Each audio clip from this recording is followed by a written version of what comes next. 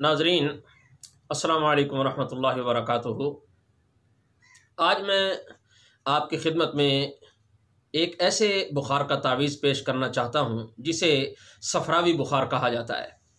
यानी जिसम में जो सफरा की खिलत होती है ना, खिलत सफरा, वो उसकी ज़्यादती हो जाती है और उसकी वजह से बदन जो है, ये हरारत पकड़ जाता है और मुस्तकिल बुखार रहने लगता है।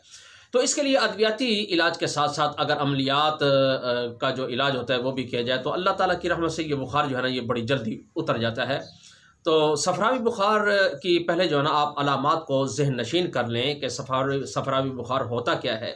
सफरावी बुखार के अंदर ना मुँह का जायका जो है, ये बहुत कड़वा होता है और जो ज़ुबान का रंग होता है, ये सुर्ख पिलाहट माइल होता है और छोटे पेशाब में भी पीलापन होता है और पेशाब में जलन भी होती है। और अगर कै आ जाए तो वो भी बहुत कड़वी होती है, ऐसे मालूम होता है जैसे अंदर से जहर निकली है। और बदन जो होता है, यानी जिसम का जो रंग होता है, अगर उसे भी गौर से देखा जाए ना तो उसमें भी पीलापन नज़र आता है और जिसम पर सफ़ेद कपड़ा अगर रगड़ा जाए तो शदीद सूरतों में वो कपड़ा भी पीला हो जाता है।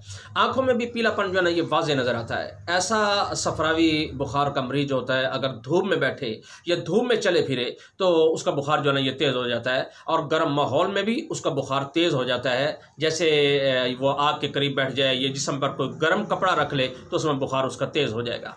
इस बुखार में चूँकि दिल के मकाम पर ना बहुत ज़्यादा ज़ौफ़ होता है, कमज़ोरी होती है, इसलिए इसमें घबराहट भी मरीज़ को शदीद होती है।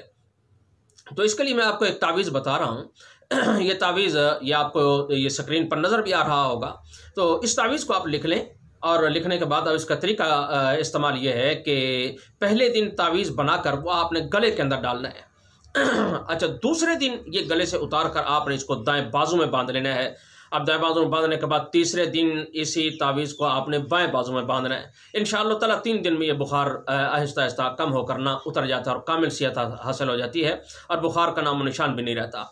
अब चौथे दिन ऐसा करना है कि यही तावीज़ बाजू से उतार कर, इसे खोल कर इसके अंदर शक्कर आपने लपेट लेनी है। जो खाने वाली शकर होती है ना ये शक्कर आपने लपेट लेनी है और इसको पुड़िया बनाकर किसी वीरान कुएँ के अंदर ना ये जाके इसे डाल देंगे। अगर वीरान कुआँ कहीं आपके करीब ना हो तो फिर इसे कब्रिस्तान में किसी दरख्त या पौधे की जड़ में डालेंगे ताकि इसे कीड़े मकोड़े खा जाएँ। अच्छा अच्छा जब ये पहले दिन ना, आपने तावीज़ बनाकर इसे गले में डालना है तो उसी दिन से ही ये आयत जो आपको स्क्रीन पर नज़र आ रही होगी तो ये आयत आपने सात मरतबा पानी पर दम करके ये पी लिया करना है। अगर मरीज़ खुद पी सकता है तो ठीक है, वरना कोई और आदमी उसे पढ़कर पिला दिया करे। वो आयत ये है, मैं पढ़ के भी सुना देता हूँ कि बनु नज़िलु मिनल क़ुरान मा हुआ शिफा व रहमतुल्लिलमुमिनीन व इज़ा मरीज़ तो फ़व यशफ़ीन। इन ताला इन ताला, ये सफरावी बुखार जो होता है, ये बिल्कुल ही ख़त्म हो जाएगा। अल्लाह ताला शिफा कामला आजला लाता फ़रमाएँगे। आखिर में ये गुजारिश है कि यूट्यूब पर मेरा चैनल हकीम सनाउल्ला फिशर के नाम से है। जिन हजरात ने इनको सब सब्सक्राइब कर लिया, अल्लाह ताला उनको जजा खैर अता फरमाए। और जिन्होंने अभी तक उसे सब्सक्राइब नहीं किया, वो लोग इसको लाइक भी कर दें और सुर्ख लंग की लिखाई में, जो इंग्लिश में लिखा हुआ सब्सक्राइब लिखा हुआ है, उसे भी आपने क्लिक कर देना है और बेल आइकान का जो घंटी का बटन है, उसे भी आपने क्लिक कर देना है। अल्लाह ताला आपको जजा खैर अता फरमाए और जिन्होंने कर लिया, उनको भी जजा खैर अता फरमाए। आखिर दावाना अलहमदिल्ला रबालमीन अल्लाम वरहमल वर्का